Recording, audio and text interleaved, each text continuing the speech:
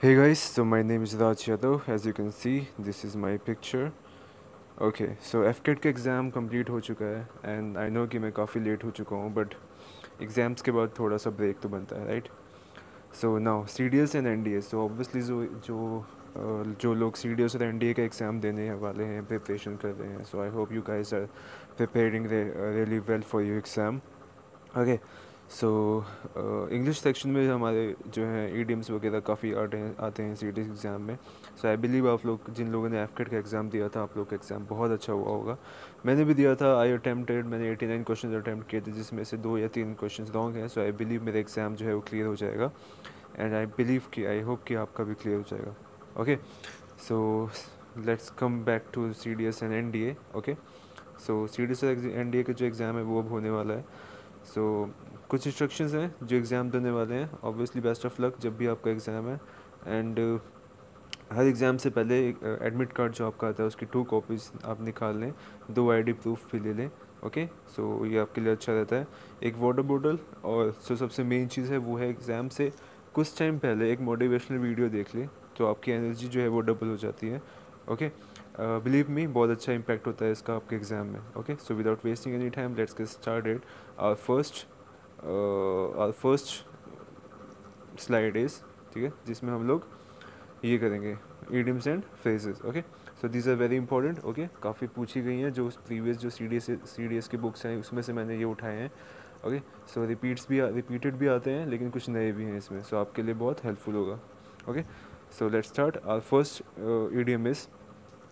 hang in there so ये बहुत easy बहुत ईजी ओके भी हम लोग इसको नॉर्मली अपनी अपनी डे टू डे लाइफ में बोलते हैं so don't give up so obviously जो प्रिपेयर कर रहे हैं, उनके लिए तो बहुत बहुत इंपॉर्टेंट है कि they don't don't give up okay always try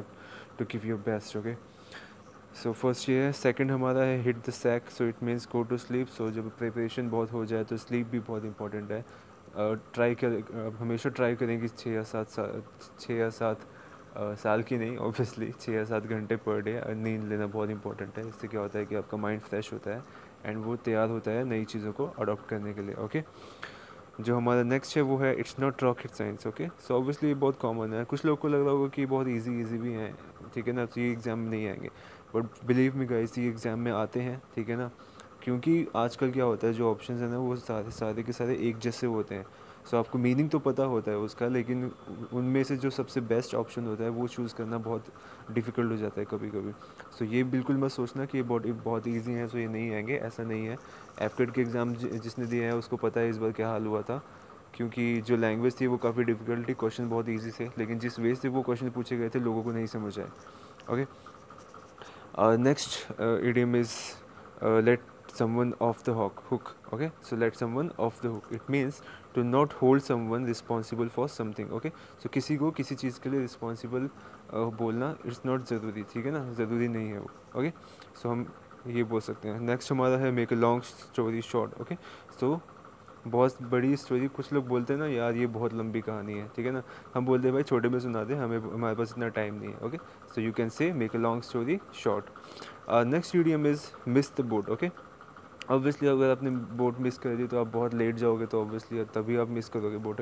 okay so imagine करो आपको कहीं जाना है और आप लेट हो गए हो ओके सो बोट जो है वो चली गई। So you have miss the boat next idiom is no pain no gain obviously ये भी बहुत बहुत ईजी है, ठीक है ना? मैं ये नहीं कह रहा कि ये बहुत इंपॉर्टेंट है क्योंकि ये बिल्कुल बहुत इंपॉर्टेंट है, लेकिन आजकल जो ऑप्शन आते हैं, वो सारे सिमिलर होते हैं। सो बेस्ट ऑप्शन चूज़ करना बहुत डिफ़िकल्ट हो जाता है, ठीक है ना? याद तो सभी कर लेंगे, लेकिन उसमें से चारों में से जो बेस्ट ऑप्शन होगा it's very difficult to choose which is the best option okay the next idiom is on the ball okay so it means doing a job good so when you are doing a job good when are preparing well for your exam you can say on the ball the next idiom is pull someone's leg okay so this is very common, okay? To joke about someone, okay? The next idiom is pull yourself together okay so ये जब ये idioms की videos में अभी लगातार डालने लगूँगा तो धीरे धीरे ईजी से हार्ड आने लगेंगे ओके सो एग्जैक्टली सीधा हार्ड पे अगर मैं जाऊँगा तो that would be difficult for many people to you know to learn so easy से हार्ड पे जाते हैं ओके यही प्रोसेस होता है। So pull yourself together means calm down next is so far so good okay so things are going well so far so you, these are, these, some of these idioms you can relate to these idioms, you can say these idioms to you to motivate yourself, okay? So बहुत help होती है। Next है speak the speak of the devil and the devil को बोलते हैं ना कि शैतान का नाम नाम लिया और शैतान हाजिर ओके सो उसको ही इंग्लिश में ऐसे बोलेंगे speak of the devil the person we were just talking about showed up okay जिसके बारे में हम बात बात कर रहे हैं, वो भाईजान आ गए ओके सो नेक्स्ट है that's the last that's the last straw my patience and has run out okay तो फॉर एग्ज़ाम्पल अगर आप कुछ कर रहे हैं, ठीक है ना? और आपका पेशेंस ख़त्म हो गया, लेकिन वो चीज़ आपको मिली नहीं सो आप बोल सकते हैं दैट्स द लास्ट स्ट्रॉ ये लास्ट स्ट्रॉ थी, अब भाई ख़त्म हो गया मेरा, अब नहीं होगा मुझसे okay the next idiom is the best of both worlds okay an ideal situation so एक आइडियल सिचुएशन जो दोनों जो दोनों पार्टी के लिए बेस्ट हो okay the next is time flies when you have you are having fun okay तो जब आप मज़े कर रहे होते हैं टाइम तो हमेशा निकलता रहता है ठीक है ना? तो Uh, हमारी ग्रेजुएशन का टाइम या हमारे स्कूल का टाइम हम ज़्यादातर है अपने फ़न में ही निकाल देते हैं। सो so, बाद में लोगों को रियलाइज़ होता है कि यार टाइम तो जा चुका है ओके लेकिन टाइम कोई नहीं जाता। तेईस चौबीस साल प्रिपरेशन करने के लिए बहुत अच्छा टाइम है ठीक है ना? आपका दिमाग बहुत अच्छे से मैच्योर हो चुका है आप मैच्योर हो चुके हो आप चीज़ों को जल्दी ग्रैप कर सकते हो। So it's easy for you to now to now prepare for your M okay so you don't notice how long something last when it's fun okay तो जब आप मज़े कर रहे होते हैं आपको टाइम का अंदाज़ा नहीं होता कि कितनी जल्दी टाइम पास हो गया सो so, ये तो वेरी कॉमन है ओके सो नेक्स्ट है two can to get bent out of shape okay so to get upset so whenever you get upset or someone from your friend or someone your family get upset you can say to get to get bent bent out of shape okay uh, next ये probably this is my last because I have some more But मैं वो next video में डालूँगा। ज़्यादा लंबी slide हो जाती है तो लोगों को पढ़ने में दिक्कत हो जाती है, ठीक है? मुझे काफ़ी कमेंट्स आए हैं इसके लिए। Okay so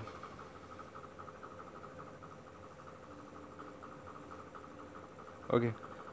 so to make matter worse okay so किसी चीज़ को बहुत ज़्यादा बिगाड़ देना, किसी मैटर को बहुत बिगाड़ देना make a problem worse okay so we can use to make a mat to make matters worse okay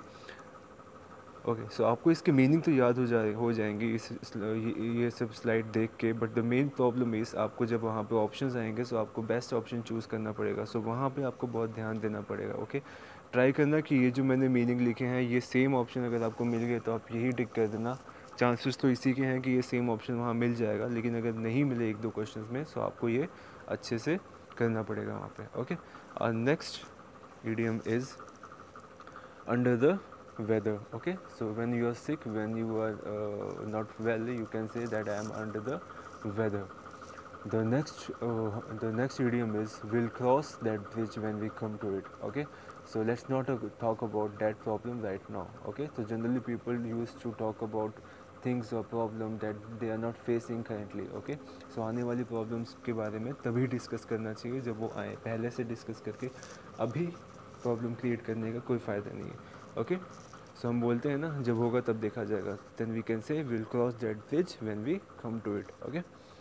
so the last the last idiom is wrap you head around something okay so understand something complicated so when you understand something complicated कोई चीज़ बहुत मुश्किल है, आप उसको understand करने की कोशिश कर रहे हैं या अंडरस्टैंड कर रहे हैं so you can use wrap you head around something okay? So these were the some idioms which are very important for your CDS and NDA so if you like this video subscribe to my channel and don't forget to press the bell icon okay और also share with your friends okay जो लोग CDS के लिए apply कर रहे हैं या NDA के लिए या आने वाले जो भी